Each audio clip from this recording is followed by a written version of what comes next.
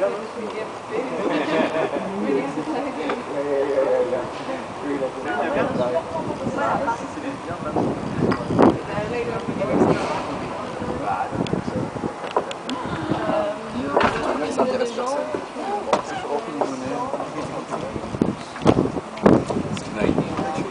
my name is uh, Ishtar and I work here at Okno as one of the four um, artists who run it.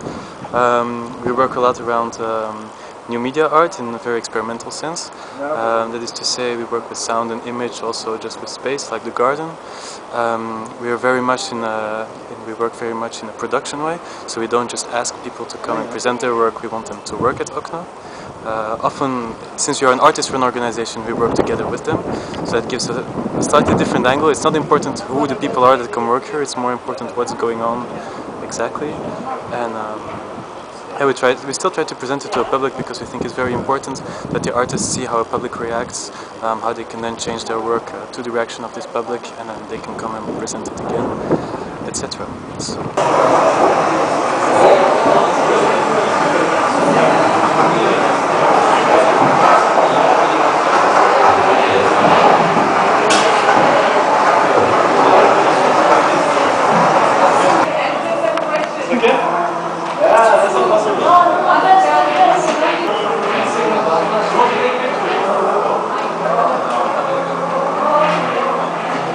Obrigado.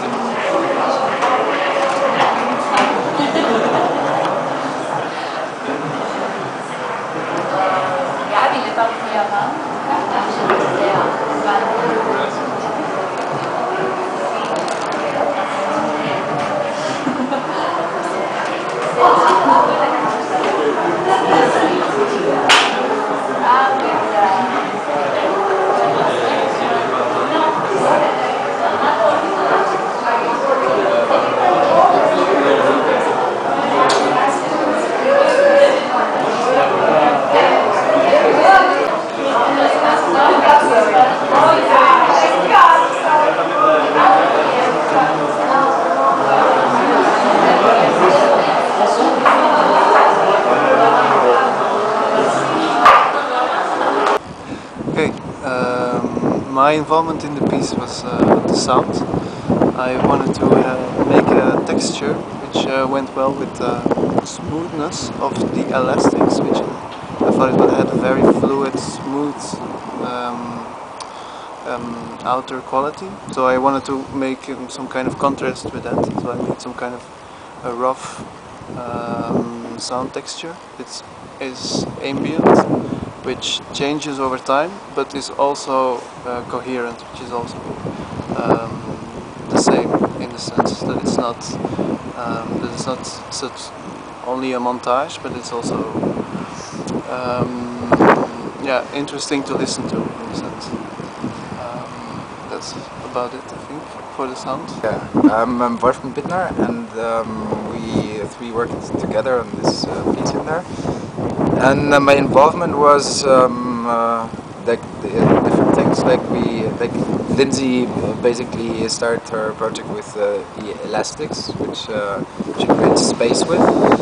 And um, for this project, we collaborate. I'm normally uh, like a, a more like visual artist, but I also make installations and worked for theater also.